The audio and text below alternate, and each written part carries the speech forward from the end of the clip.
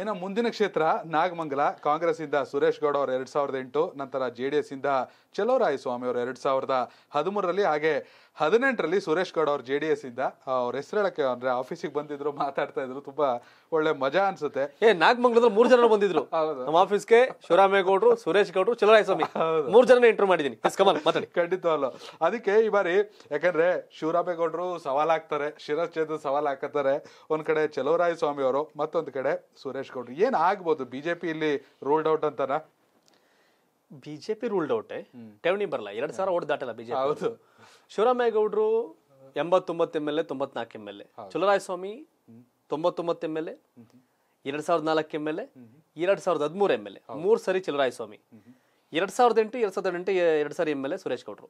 ಮೂರ್ ಸಾರಿ ಚಲರಾಯಸ್ವಾಮಿ ಎರಡ್ ಸಾರಿ ಶಿವರಾಮೇಗೌಡರು ಎರಡ್ ಸಾರಿ ಸುರೇಶ್ ಗೌಡ್ರು.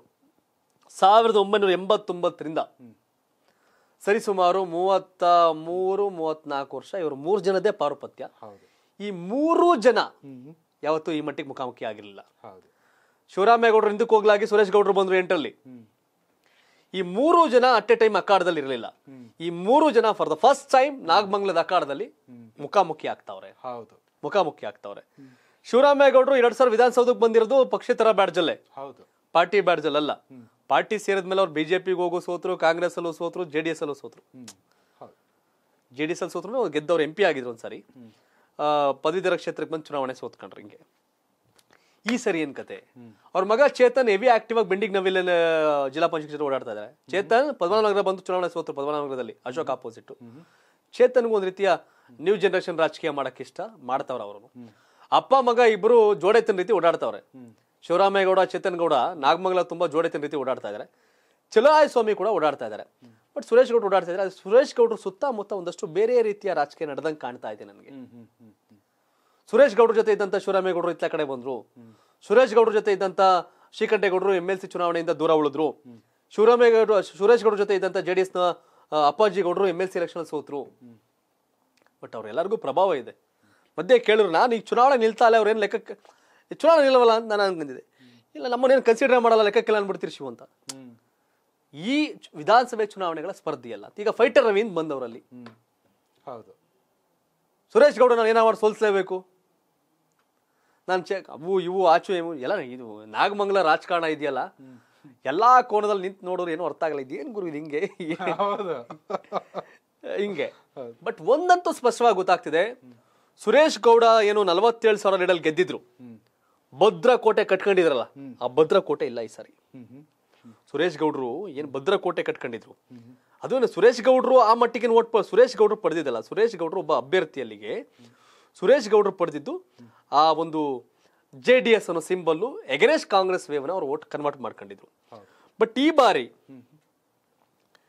ಈ ಬಾರಿ ಅಲ್ಲಿ ಕಂಪ್ಲೀಟ್ಲಿ ಚೇಂಜ್ ಇದೆ ಬಿಕಾಸ್ ಆಫ್ ಶಿವರಾಮೇಗೌಡರು ಹೌದು. ಚಲುರಾಯ ಸ್ವಾಮಿ ಅದಲ್ಲದೆ ಚುನಾವಣಾ ಅಖಾಡದಲ್ಲಿ ಇಲ್ದ- ಇಲ್ದಿರದೇ ಇರತಕ್ಕಂಥ ಅಪ್ಪಾಜಿ ಗೌಡ್ರು ಶ್ರೀಕಂಠೇಗೌಡ್ರು ಸ್ವಲ್ಪ ಒಕ್ಲಿಗರ ಸಂಘ ಡೈರೆಕ್ಟ್ ನಮ್ಮ ನೆಲ್ಲಿಗೆರೆ ಬಾಲು ಈ ಫೈಟರ್ ರವಿ ಎಂಟ್ರಿ ಇವೆಲ್ಲವೂ ಒಂದಷ್ಟು ಚೇಂಜಸ್ ಮಾಡುವಂತ ಸಾಧ್ಯ. ಒಂದು ಲಕ್ಷದ ಹನ್ನೆರಡು ಸಾವಿರ ಓಟು ಸುರೇಶ್ ಗೌಡ್ರಿಗೆ ಅರವತ್ನಾಲ್ಕು ಸಾವಿರ ಚಲುರಾಯ ಸ್ವಾಮಿ ಅವರಿಗೆ ನಲ್ವತ್ತೇಳು ಸಾವಿರ ಲೀಡು.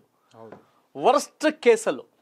ಈ ಕ್ಷಣಕ್ಕೆ ಹೋಗಿ ಈಗಲೂ ಈ ಕ್ಷಣಕ್ಕೆ ಕೂತ್ರು ಶಿವರಾಮೇಗೌಡರಿಗೆ ಆ ಕ್ಷೇತ್ರದಲ್ಲಿ ಮೂವತ್ ಮೂವತ್ತೈದು ನಲ್ವತ್ತು ಸಾವಿರ ಓಟ್ ಬೀಳುತ್ತೆ ಈಗ. ಹೌದು. ಹೆಂಗೆ ಅಂತ ನೀವು ಕೇಳ್ಬೋದು. ಎರಡು ಸಾವಿರದ ಒಂಬತ್ತರಲ್ಲಿ ಬಿಜೆಪಿಯಿಂದ ಲೋಕಸಭೆಗೆ ನಿಂತ್ಕೊಂಡಂತ ಆ, ಸು- ಶಿವರಾಮೇಗೌಡರಿಗೆ ಅವತ್ತು ಮೂವತ್ತ ಎರಡು ಸಾವಿರ ಏನೋ ಜನ ಓಟ್ ಹಾಕಿದ್ರು ಅವತ್ತು ಎರಡ್ ಸಾವಿರದ ಒಂಬತ್ತರಲ್ಲಿ. ಅಂಬರೀಷ್ ಮೂರನೇ ಪ್ಲೇಸು ಅವ್ರು ಚಲುವರಾಯಸ್ವಾಮಿ ಎಂ ಪಿ ಆಗಿದ್ರು ಬಿಡಿ. ಹೌದು. ಗೆದ್ದಿದ್ರು. ಸೊ ಈಗಿದೆ ಸನ್ನಿವೇಶ. ಶಿವರಾಮೇಗೌಡರು ನೆಗ್ಲೆಕ್ಟ್ ಮಾಡಂಗಿಲ್ಲ. ಶಿವರಾಮೇಗೌಡರಿಗೆ ಒಂದಷ್ಟು ಜನ. ಶಿವರಾಮೇಗೌಡರನ್ನ ಯಾರೋ ಡಮ್ಮಿ ಅನ್ಕೊಂಡಿಲ್ಲ ಅಲ್ಲಿ. ಹೌದು. ಶಿವರಾಮೇಗೌಡರು ಪ್ರಬಲ ಅನ್ಕೊಂಡವ್ರ ಜನ. ಊರಲ್ಲಿ ನಂದು ಒಂದು ಗುಂಪಿರ್ಬೇಕು ಮೂರು ಗುಂಪು ಆಗ್ಬೇಕು ಊರು. ನಂದು ಒಂದು ಗುಂಪಿರ್ಬೇಕು ಅಂತ ಒಂದು ರೋಚಕ ರಾಜಕಾರಣ ನಾಗಮಂಗಲ ನಮ್ಮ ಸರ್ವೆ. ಕಳೆದ ಅಕ್ಟೋಬರ್ ಸರ್ವೆನಲ್ಲಿ ಜೆ ಡಿ ಎಸ್ ಮುನ್ನಡೆ ಅಂತ ಹೇಳಿದ್ವಿ. ಹೌದು. ಬದಲಾದ ಸನ್ನಿವೇಶದಲ್ಲಿ ಒಂದಷ್ಟು ಒಳ ರಾಜಕೀಯ ಒಡೆತಗಳು ಲೆಕ್ಕಾಚಾರಗಳು ಎಲ್ಲವೂ ಕೂಡ ಸೂಕ್ಷ್ಮವಾಗಿ ಬಹಳ ಟಫ್ ನಮ್ಗೆ ಇದನ್ನ ಇದ್ ಮಾಡಕ್ಕೆ ಮತ್ತಷ್ಟು ಎಕ್ಕಿ ಎಕ್ಕಿ ನೋಡಿದಾಗ ಕಾಂಗ್ರೆಸ್ ನಾಗಮಂಗಲದಲ್ಲಿ ಮುನ್ನಡೆಯನ್ನು ಕಾಯ್ದುಕೊಂಡಿದೆ. ಹೌದು. ಕಾಂಗ್ರೆಸ್ ಮುನ್ನಡೆ ಕಾಯ್ದುಕೊಂಡಿದೆ ಸುರೇಶ್ ಗೌಡಗೆ ಸುರೇಶ್ ಗೌಡ ಜೊತೆಗೆ ಜೆ ಡಿ ಎಸ್ ಮತ್ತೆ ದೇವೇಗೌಡರು ಕುಮಾರಸ್ವಾಮಿ ಅನ್ನೋ ಬಲವನ್ನ ಬಿಟ್ರೆ ಹೌದು. ಇನ್ನು ಅವ್ರ ಜೊತೆ ಇದ್ದಂತ ಲೀಡರ್ ಪಾಡ್ರ್ಗಳೆಲ್ಲ ಬೇರೆ ಬೇರೆ ಅಲ್ಲ ಒಂದಷ್ಟು ಜನ ಬಿಟ್ಟು ಹೋಗೋರು ಒಂದಷ್ಟು ಜನ ಇದ್ದು ಕೂಡ ಬೇರೆ ಬೇರೆ ಕಥೆಗಳನ್ನ ಮಾಡ್ತಾ ಇದ್ದಾರೆ. ಅದೆಲ್ಲವೂ ಕೂಡ ಸುರೇಶ್ ಗೌಡ್ರಿಗೆ ಸೂಕ್ಷ್ಮವಾಗಿ ಗೊತ್ತು ಅಂತ ನಾನು ಅನ್ಕೊಂಡಿದ್ದೀನಿ ನಾಗಮಂಗ್ಲದವರೆಗೂ ಗೊತ್ತು. ನಾಗಮಂಗ್ಲದಲ್ಲಿ ಕರ್ನಾಟಕ ಟಿವಿಯ ನವೆಂಬರ್ ಸರ್ವೆ ಪ್ರಕಾರ ಕಾಂಗ್ರೆಸ್ ಮುನ್ನಡೆಯನ್ನು ಕಾಯ್ದುಕೊಂಡಿದೆ. ತ್ರಿಕೋನ ಸ್ಪರ್ಧೆ ಟೈಟ್. ಹೌದು. ಶಿವರಾಮೇಗೌಡರು ದಿನೇ ದಿನೇ ಪ್ರಬಲರಾಗ್ತಾರೆ ಹೊರತು ದುರ್ಬಲ ಆಗಲ್ಲ. ಹೌದು. ದಿನೇ ದಿನೇ ದಿನ ಕಳೆದಂತೆ ಶಿವರಾಮೇಗೌಡರು ಇನ್ನೂ ಪ್ಲಸ್ ಆಗತ್ತೆ ಹೊರತು ಮೈನಸ್ ಆಗಲ್ಲ. ಅದು ಯಾವ ಹಂತಕ್ಕೆ ಬೇಕಾದ್ರೆ ನಾಗಮಂಗಲ ರಿಸಲ್ಟ್ ಹೋಗಬಹುದು ಇದು ನಮ್ಮ ನವೆಂಬರ್ ಸರ್ವೆ ಕಾಂಗ್ರೆಸ್ ನಾಗಮಂಗಲದಲ್ಲಿ ಮುನ್ನಡೆ. ಎರಡು ಚಮಚ ಹಾಕಿ ಒಂದು ಹಾಲಲ್ಲಿ ಒಂದು ಜಿನಿ ಪೌಡರ್ ಕುಡಿದ್ಬಿಟ್ಟಂತಂದರೆ ನಿಮ್ಮದು ಏನು ರಿಕ್ವೈರ್ಮೆಂಟ್ಸ್ ಇದೆ ಕ್ಯಾಲೋರಿ ರಿಕ್ವೈರ್ಮೆಂಟ್ಸ್ ಅದು ಫುಲ್ ಫಿಲ್ ಆಗಿಬಿಡುತ್ತೆ. ಈ ಸಲ ಆರೋಗ್ಯದ ಬಗ್ಗೆ ನಾವೆಲ್ಲ ಇದು ಮಾಡುವ. ಯಾರಿಗೂ ಸ್ವೀಟ್ ಕೊಡೋದು ಬೇಡ. ಎಲ್ಲರಿಗೂ ಒಂದೊಂದು ಜೀನಿ ಪೌಡರ್ ಕೊಟ್ಬಿಡೋಣ. ಪ್ರತಿದಿನ ಒಂದು ಒಳ್ಳೆ ಆಹಾರ ಸೇವನೆ ಮಾಡಿದ್ರೆ ಬಿ ಪಿ ಶುಗರು ಎಲ್ಲನೂ ಕಂಟ್ರೋಲಿಗೆ ಬರುತ್ತೆ. ಸಿರಿಧಾನ್ಯದಿಂದ ತಯಾರಾದ ಜೀನಿ ಕುಡಿಯಿರಿ ಆರೋಗ್ಯವಾಗಿರಿ. ಮಗು ದಷ್ಟಪುಷ್ಟವಾಗಿ ಆರೋಗ್ಯವಾಗಿ ಬೆಳಿಬೇಕಂದ್ರೆ ತಾಯಿಯ ಎದೆಹಾಲು ಹಾಗೂ ಪೌಷ್ಟಿಕ ಆಹಾರ ಮುಖ್ಯ. ಮೊದಲೆಲ್ಲ ನಮ್ಮ ಅಜ್ಜಿ ಮನೆಯಲ್ಲೇ ಸರಿ ಇಟ್ ಮಾಡ್ಕೊಡ್ತಿದ್ರು. ಅದ್ರೀಗ ಜೀನಿ ಅವ್ರು ಮಾಡ್ತಿದ್ದಾರೆ. ಯಾಕಂದ್ರೆ ಜೀನಿ ಸರಿ ಇಟ್ ಕೂಡ ನಮ್ಮ ಅಜ್ಜಿ ಮಾಡೋ ತರಾನೇ ಇದೆ. Thank you Jeeni